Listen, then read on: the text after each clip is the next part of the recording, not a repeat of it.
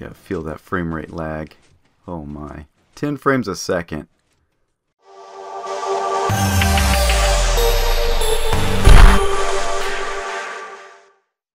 Hello ladies and gentlemen, this is Soap the Great, and I am playing on the TooCrafty Vanilla Amplified server. How's everyone doing? Hope you're doing well. Hey, we're still over here at the Ocean Monument, or rather, the former Ocean Monument, soon to be Guardian Farm. Today we're going to be doing what we have been needing to do for some time, what we've been working towards, and that is clearing out the water. Now, you may have been wondering up to this point, how in the world are we going to do it? And let me show you. So we're going to start by building a machine like this, and then like so. So we're just going to take this on like this, and I'm going to be building what is called the Moses. Let me turn down the hostile creature sounds because those guardians are going to get annoying. I want to hear them a little bit, but not have them be overpowering. So we're building what is called the Moses, which stands for Modular Sea Splitter. It is an invention by the ZipKrowd server. It's a modular water pushing, or really any liquid. You could use it for lava as well. And it's driven by a slime block engine. We'll just, I think what we'll do is just come along with the dirt. Now, if you look at the tutorial, which I have linked in the description box below, you will note that they use iron blocks. But uh, that's because they're in creative, and you can destroy any block easily in creative. You cannot destroy iron easily in survival. So, we are using dirt so that when it comes time we will be able to easily tear this down because this is not a machine you leave get out of the way it's not a machine you leave in in use so you do tear it down after you're done get get out of the way thank you that's the one downside oh yeah they're hanging out okay so so I've got dirt and since we've got efficiency 5 shovels and haste 2 beacons once all the water is cleared out. It will not be a problem at all. Oh, once again. I'll be back, ladies and gentlemen. Alright, we're back, ladies and gentlemen, and it looks like I lost a lot of progress here. They... The server did not get back in touch with me on those. Well, we got those. Odd. Very odd. Alright. Oh, okay, because I did those initially. Yeah, so because of these guys targeting the squid, we we get an issue sometimes of too much too much lag between the client and the server, and then the server kicks me. So that's just the name of the game. We may go through this a little bit more. Hopefully not.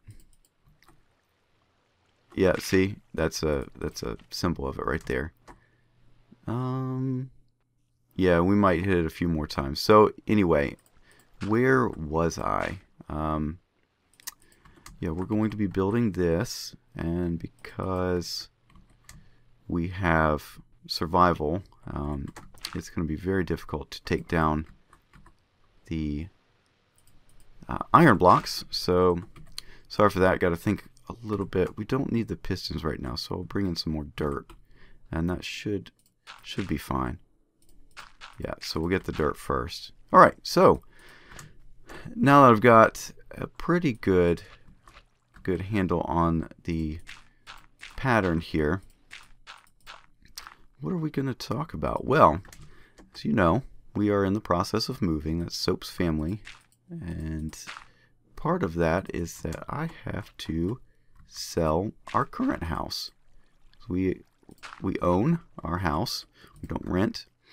And that means that well, I guess we could uh, keep this house and and get the, another one, but the problem is that we don't can't really afford that. So we're going to have to sell this one, and to do that, we have to get it a little more presentable. Now we we live in our house. We use it. It is a it is definitely a useful tool, and part of using that, at least with two kids, involves a lot of you know food splatters on the walls and sometimes when they've gotten into pins and they didn't know any better they wrote on the walls and so we've got painting to do uh, then, you know, this winter has been rather rough in our area.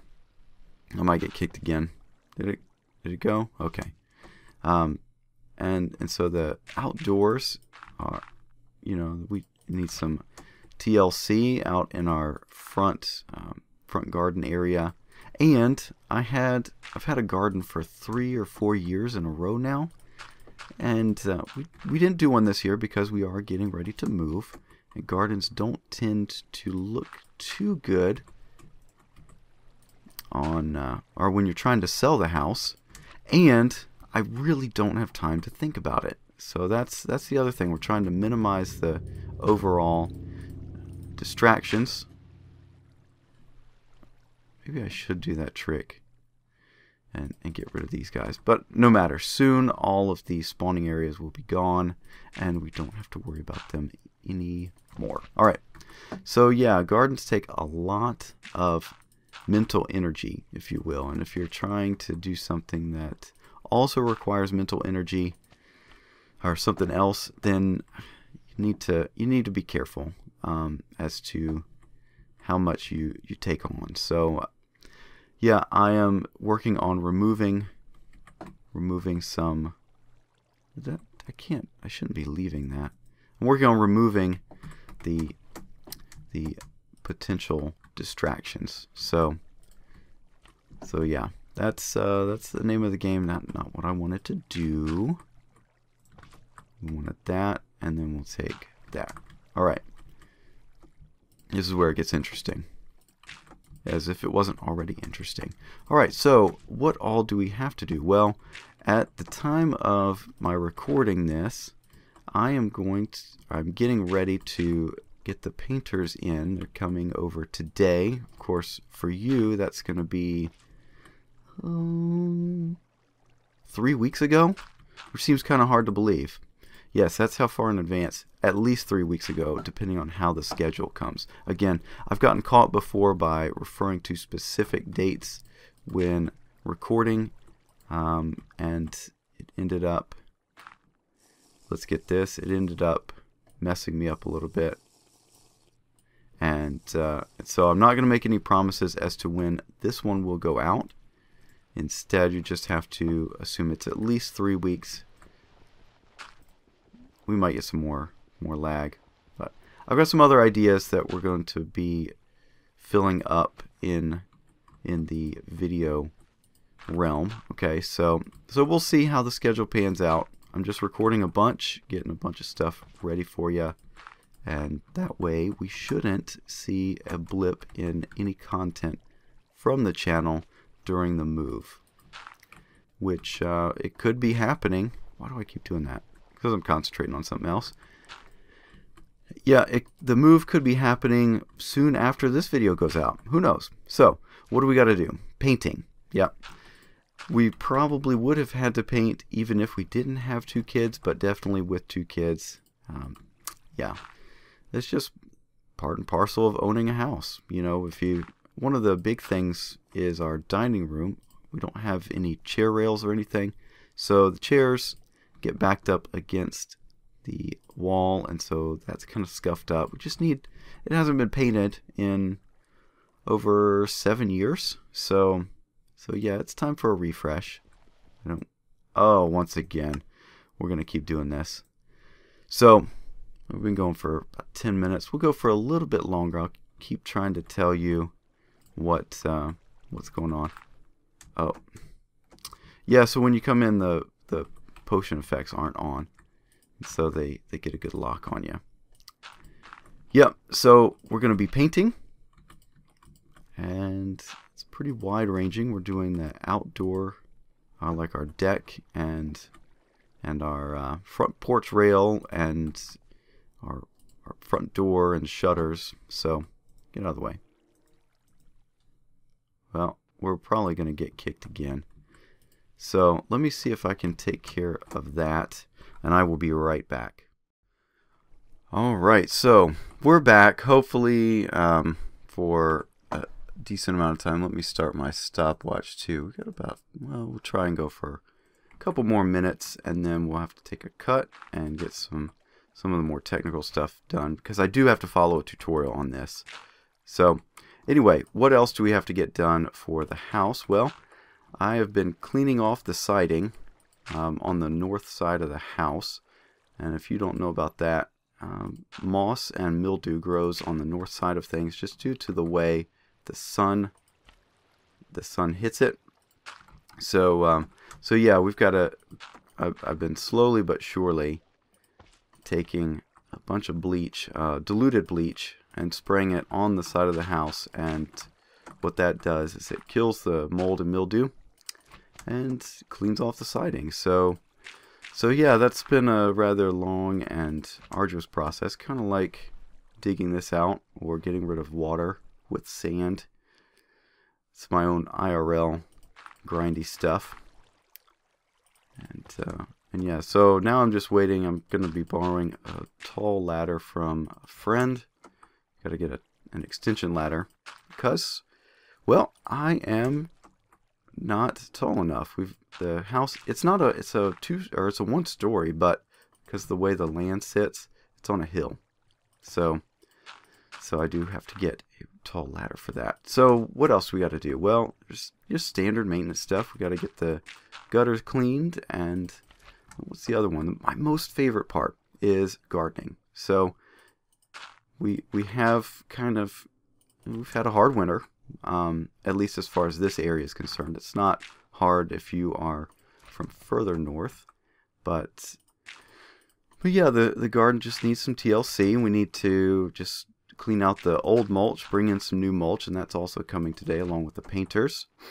By the time you see this video, all the mulch should be ready to go.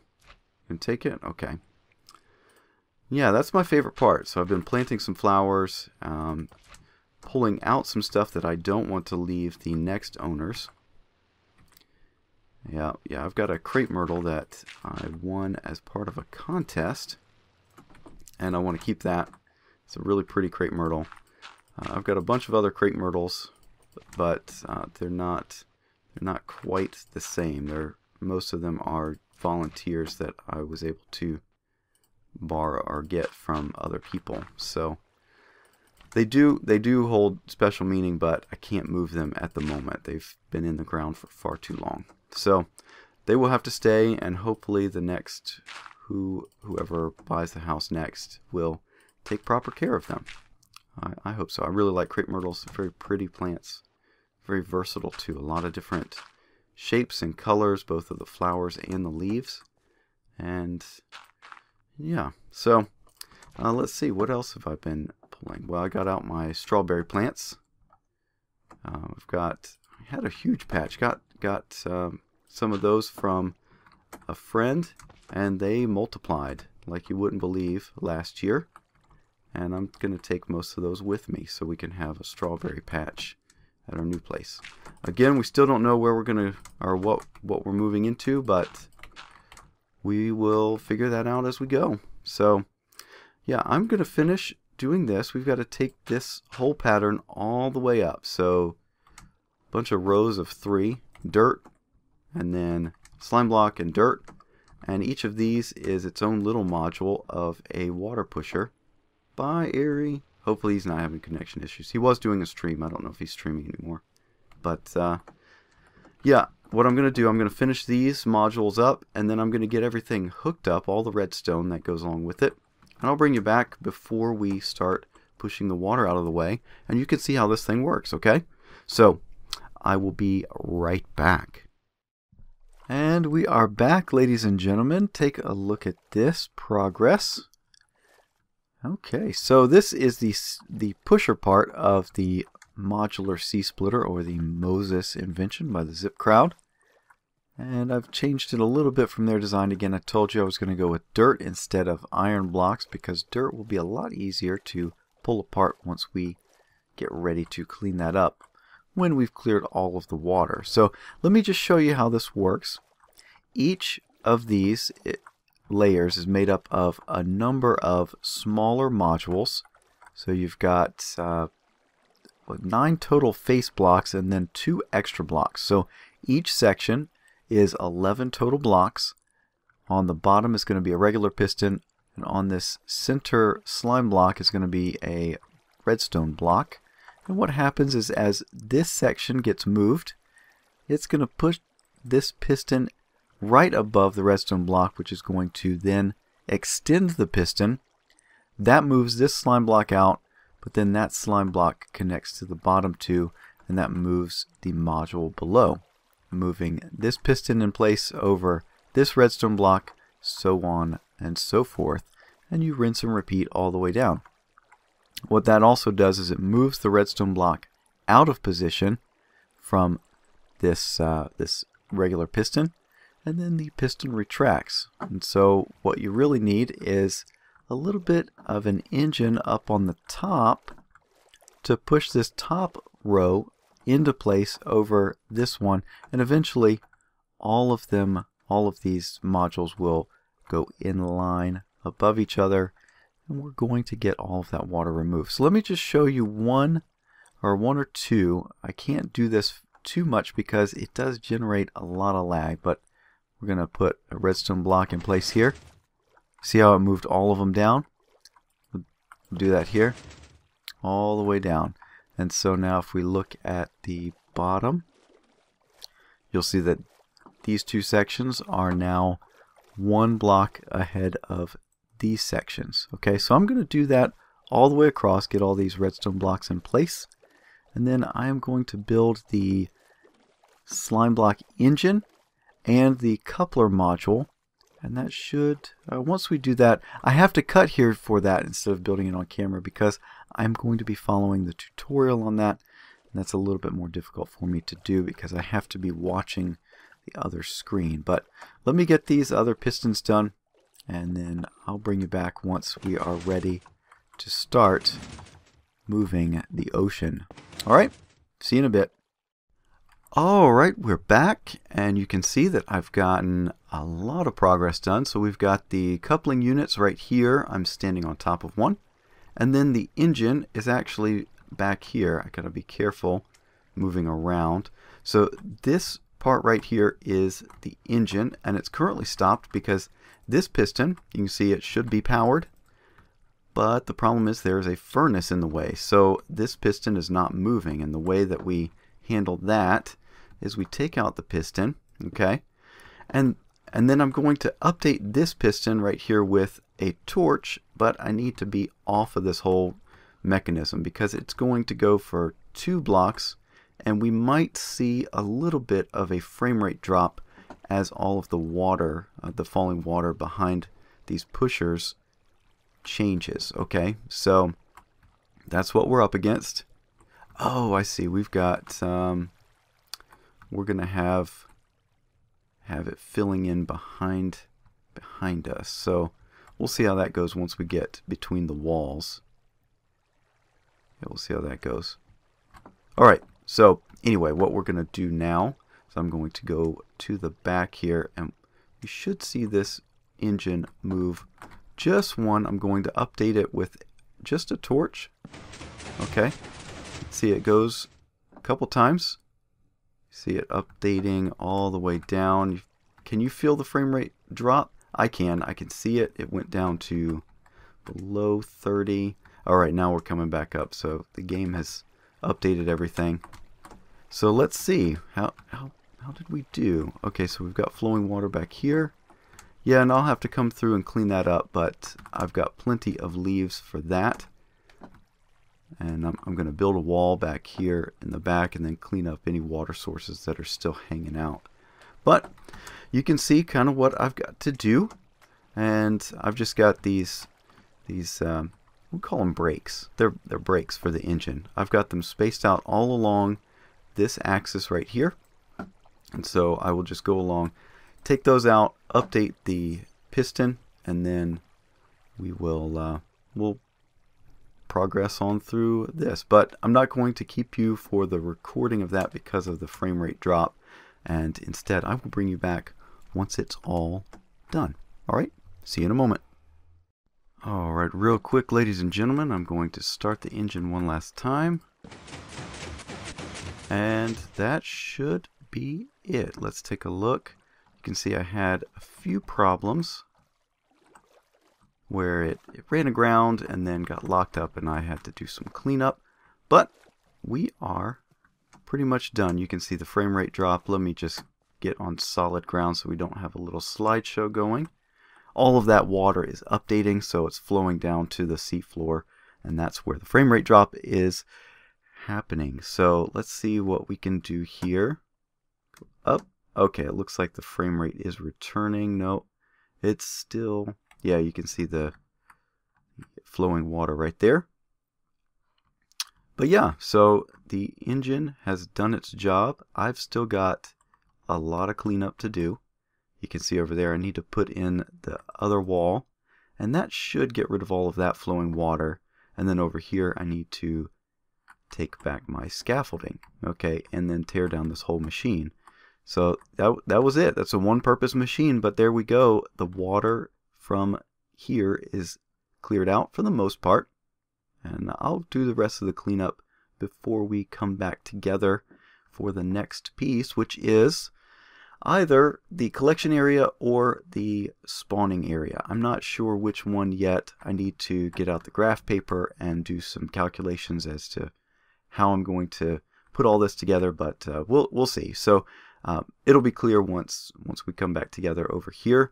I might schedule this in amongst some other builds. I've got some ideas for shops that I want to put over in the commercial district, so I might be doing those as well. But uh, but once again, we're still trying to do a lot of content during the move so that uh, I don't have to worry about not giving you a video while all of that craziness is going on. So hopefully you enjoyed.